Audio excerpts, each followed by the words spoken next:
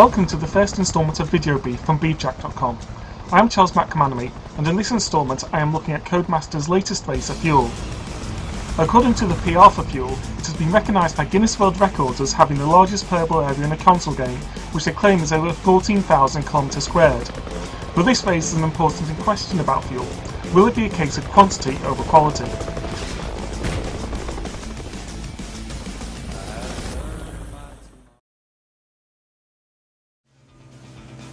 There are several quality aspects to Fuel, including a decent range of vehicles, which includes but is not limited to bikes, quads, muscle cars, and monster trucks.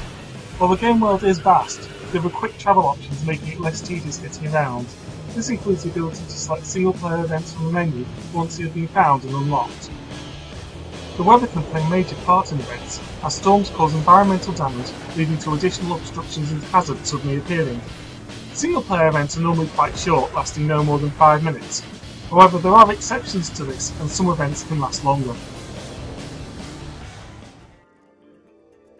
As you would expect, online multiplayer is present, which in Fuel is up to 16 players on the Xbox 360. In addition to racing online versions of single player events, you can also create your own races using the inbuilt race editor to create custom races Unlike some games, I did not have any trouble getting into ranked matches, and most of the time got straight into a lobby with at least 5 people already present.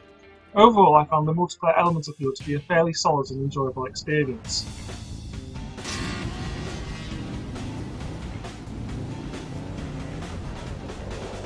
These elements combine to make Fuel a game with a solid core. However, there are numerous flaws in Fuel that combine to make playing Fuel a less than stellar experience.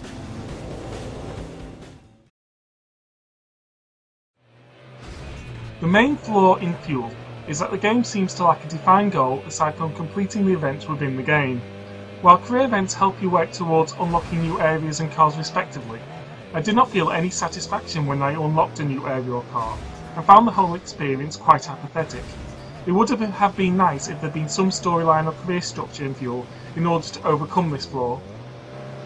The second significant flaw is the AI, which is sometimes fine, but other times in races can cause an opponent to storm ahead, only to inexplicably slow down allowing you to overcome what should be an unassailable lead.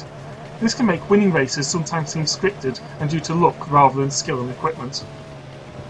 The final major flaw is the game world itself, which while vast is very repetitive. One example of this is damaged broken trees, as you can pass what is obviously the same model numerous times in a short distance. This flaw also applies to other elements of the environment, though to a lesser extent. This left me feeling that I would have preferred a smaller but more varied game world. There are also numerous relatively minor flaws in Fuel. These include the GPS being dodgy, as it often sends you the wrong way or asks you to go by impassable routes, typically through deep water causing you to die and respawn. The car view could also be improved, as there is no reverse view. Instead, if you want to look behind your car, you have to move the camera around the car, which is more than inconvenient in a race. The race editor, while a nice feature, is limited, and most options can only be accessed when setting up an online multiplayer race. This is frustrating when not to the options such as weather and time of day are things you want to know the effect of before you start the race. While none of these flaws are in themselves game breaking, taken together they greatly detract from fuel, vastly decreasing my enjoyment of the game.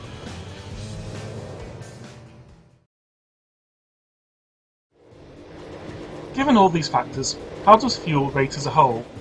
I have to say, fairly average. In terms of style of driving, the closest game I've played is Flat Out Ultimate Carnage, which I personally found to be a much more enjoyable experience, despite it being a remake of an original Xbox title. On the open world side of things, Test Drive Unlimited and Burnout Paradise are both much better implemented, with the only significant advantage Fuel having over them is being its size. There will be people who enjoy Fuel, and its sheer size is a great selling point, but for me, I found the game slightly tedious and repetitive, with little to grab me and make me want to come back for more.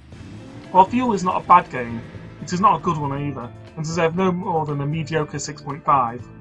Given that there is no shortage of high quality races around, I recommend giving Fuel a miss and going for one of them instead.